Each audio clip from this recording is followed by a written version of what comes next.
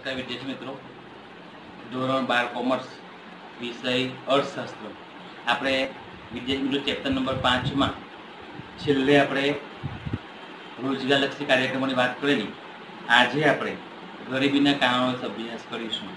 તો ગરીબીના જે કારણો છે, તો એમાં આજે આપણે ગ્રામ્ય ઐતિહાસિક કારણો અને ગ્રામ્ય ગરીબોની ચર્ચા કરીશું.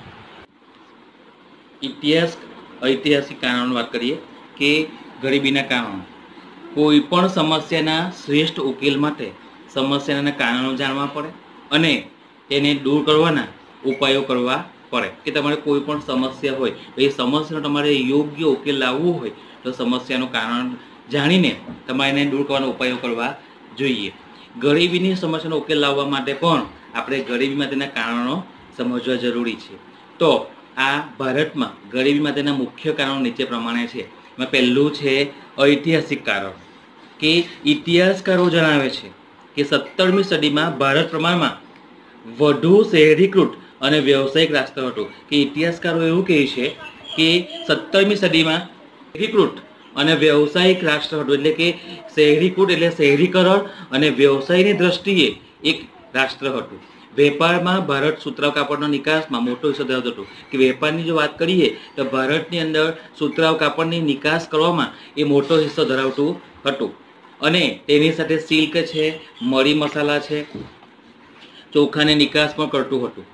પરંતુ ભારતમાં અંગ્રેજો, ફ્રેન્ચ, ડચ જેવી પ્રજાના આગમન બાદ તેમની સંસ્થાનવાદી શોષણની નીતિને કારણે ભારતમાં ખેતી અને ઉદ્યોગોની પરિસ્થિતિ કથળતી ગઈ છે. કે તમે જોયું છે કે વેપારની અંદર જો વાત કરીએ, તો કે ભારત સુતરાઉ કાપડની ખૂબ મોટું નિકાસ કરતો હતો અને ખૂબ મોટો એમાં ભાગ ભજવતો હતો. બરાબર છે? તેની સાથે એ સિલ્કનું કાપડ છે, મરી મસાલા છે, ચોખાનો નિકાસ પણ કરતું હતું. પરંતુ ભારતની અંદર આ અંગ્રેજો, ફ્રેન્ચો, ડચ આવી જે પ્રજાનું આગમન થયું, એ આગમન બાદ તેમની જે સંસ્થાનવાદી શોષણની જે નીતિ હતી, એને કારણે ભારતની અંદર જે ખેતીના ઉદ્યોગો હતા, એની પરિસ્થિતિ કથળી ગઈ છે. અંગ્રેજોના શાસનકાળ દરમિયાન વિવિધ કારણોસર ભારતમાં ખેતી ક્ષેત્રની સ્થિતિ નાજુક બની હતી. કે અંગ્રેજોનું શાસન ચાલતું હતું, ત્યારે કેટલાક કારણો ભારતમાં જે ખેતીની પરિસ્થિતિ હતી, ખૂબ ગંભીર પરિસ્થિતિ એટલે કે નાજુક બની હતી.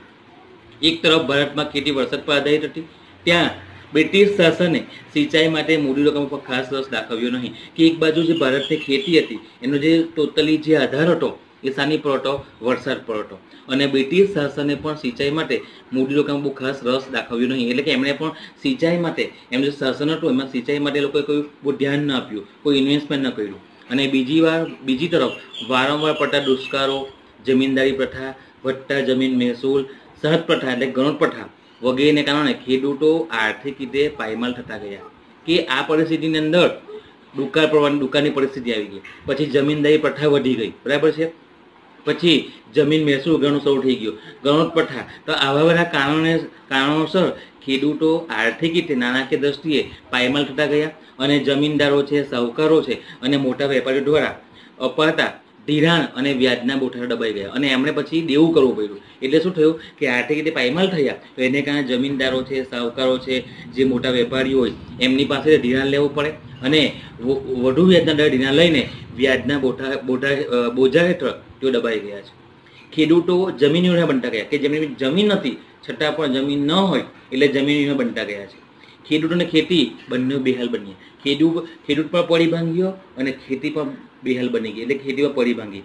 અને એને કારણે પરિણામે ગરીબીમાં શું થયો જોવા મળે છે આપણને? વધારો થતો ગયેલો જોવા મળે છે. ઉદ્યોગ અને વેપારની બાબતની અંદર વાત કરીએ તો અંગ્રેજો દ્વારા ભારતમાં એવા પ્રકારની વેપાર નીતિ, કર નીતિ તેમજ ઔદ્યોગિક નીતિ મૂકવામાં આવી કે જેથી અંગ્રેજોને ભારતમાં વેપારી ફાયદો થાય. કે ઉદ્યોગની વાત કરીને વેપારની જ વાત કરીએ, તો અંગ્રેજોએ શું કર્યું કે ભારતમાં એ લોકોએ એવા પ્રકારની એવા પ્રકારની વેપાર નીતિ ઘડી અને કર નીતિનું ઘડતર કર્યું અને એવી ઔદ્યોગિક નીતિ મૂકી દીધી કે જેથી અંગ્રેજોને ભારતમાં વેપાર કરવાથી ખૂબ ફાયદો થયો. ભારતીય નિકાસો માટે યુરોપના બજારમાં વિવિધ પ્રતિબંધ મૂકવામાં કે ભારતની જે વસ્તુઓ હતી એ નિકાસ કરવા માટે જાય તો યુરોપના બજારોમાં એની પર શું નિયંત્રણ મૂકવામાં આવ્યા? એટલે શું મૂકવામાં આવ્યા? પ્રતિબંધો મૂકવામાં આવ્યા. જ્યારે ઇંગ્લેન્ડમાં ઉત્પાદિત થતી જે વસ્તુઓ હતી, એના ભારતમાં વેચાણ માટે વિશેષ પ્રકારની કર રાહતોને છૂટ આપવામાં આવી. ભારતની કોઈ વસ્તુ યુરોપમાં જાય, તો પર પ્રતિબંધ મૂકવામાં આવે છે. અને ઇંગ્લેન્ડની જે ઉત્પાદિત વસ્તુ છે, એ ભારતમાં વેચાણ કરવા માટે આવે, તો એના માટે અલગ પ્રકારની કર રાહતો, એટલે કે ઇન્કમ ટેક્સમાં રાહત આપવામાં આવી. ઘણી બધી છૂટછાટ આવી. તેમજ આ પેદાશોને દેશના ખૂણે ખૂણા સુધી પહોંચાડવા માટે રેલવેનો પણ ઉપયોગ કરવામાં આવ્યો છે. આ બધી પરિસ્થિતિ ઇંગ્લેન્ડ માટે સારી રહી. આ પ્રકારની નીતિથી અંગ્રેજોને ભારતમાં ઉત્પાદન અને વેચાણથી અધિશેષ પ્રાપ્ત થયો. એટલે કે આવી પ્રકારની નીતિથી અંગ્રેજોને ભારતની અંદર ઉત્પાદન અને વેચાણથી ખૂબ ફાયદો થયો, ખૂબ અધિશેષ એટલે ખૂબ આવક થઈ. અને જેનું તેઓ દ્વારા ઇંગ્લેન્ડમાં મૂડીરોકાણ કર્યું અને એને મૂડીરોકાણ કરીને એમણે ઇંગ્લેન્ડની અંદર જ ઔદ્યોગિકોને વેગ આપ્યો, એટલે કે ઉદ્યોગોનો વિકાસ કર્યો. અને ત્યાંના ઉત્પાદિત માલના વેચાણ માટે ભારતીય બજારોનો ઉપયોગ કર્યો કે એમણે શું કર્યું કે ઔદ્યોગિકોને વેગ આપીને ત્યાંનું જે ઉત્પાદિત જે વસ્તુ છે, માલ છે, એના વેચાણ માટે એમણે ભારતના બજારનો ઉપયોગ કર્યો વસ્તુ બનાવી ઇંગ્લેન્ડમાં, એનું વેચાણ કર્યું ભારતમાં. આ વ્યવસ્થામાં ભારતીય ઉદ્યોગો અને વેપારીઓની હરીફાઈ શક્તિ અને ઉત્પાદન શક્તિ ઘટવા લાગી કે આને કારણે ભારતીય ઉદ્યોગો અને વેપારીઓની જે હરીફાઈ શક્તિ હતી, એટલે કે હરીફાઈ કરવાની શક્તિ હતી અને જે ઉત્પાદન શક્તિ હતી, તદ્દન ઘટવા લાગી છે. ભારતમાં નાના અને ગૃહ ઉદ્યોગો પાયમાલ થયા ગયા ભારતના જે નાની નાની કંપનીઓ હતી, લઘુ ઉદ્યોગો હતા, ગૃહ ઉદ્યોગો હતા, એ બધા પડી ભાંગ્યા, એટલે કે પાયમાલ થયા. અને પરિણામે ભારતમાં બેકારી અને ગરીબી બંને વધવા લાગી. એટલે કે આ બંને સમસ્યાઓનો વધી. બેકારી પણ આવી, બેરોજગારી પણ આવી અને ગરીબી પર વધવા લાગી આપણને જોવા મળે છે. તો આ બધા ઐતિહાસિક વાત વાત હતી. બરાબર? હવે આપણે ગ્રામીણ ગ્રામીણ ગરીબીના કારણોની વાત કરીશું. તેમાં પહેલું છે કુદરતી પરિબળો, કે ભારત શરૂઆતથી જ ખેતીપ્રધાન દેશ રહ્યો છે. અને આજે પણ વસ્તીનો એક મોટો હિસ્સો ગામડાઓમાં ખેતી પર નિર્ભર છે, કે ભારત શરૂઆતથી જ આપણે બોલીએ છીએ કે ભારત એક ખેતી પ્રધાન દેશ છે, ભારત એક ખેતી પ્રધાન રાષ્ટ્ર છે.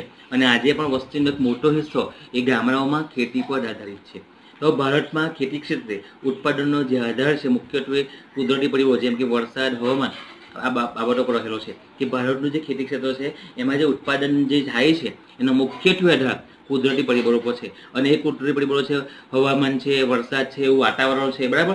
તો એના પર આધારિત છે. વારામાં પડતો દુષ્કાળ, વરસાદની અનિશ્ચિતતા, પૂર વગેરેને કારણે ખેતી ક્ષેત્રે ઉત્પાદન થતા આવકો ઓછી અનસે છે. કે વારંવાર દુષ્કાળની પરિસ્થિતિ આવી જાય, અતિવૃષ્ટિ આવી જાય, અનાવૃષ્ટિ આવી જાય, વરસાદની અનિશ્ચિત આવી જાય, બરાબર છે? પૂર આવી જાય. તો આવા કારણોસર, આવા કુદરતી પરિબળોને કારણે ખેતી ક્ષેત્રે ઉત્પાદન તથા આવકો પણ કેવી રહેવાની? ઓછી. ઉત્પાદન ઓછું થાય એટલે આવક પણ ઓછી રહી અને અનિશ્ચિત રહી છે. તો પરિણામે, આ પરિણામે પણ ગરીબી વધુ આપણને જોવા મળે છે. આ ગામડામાં જોવા મળતું એક પ્રકારનું કુદરતી પરિબળ છે.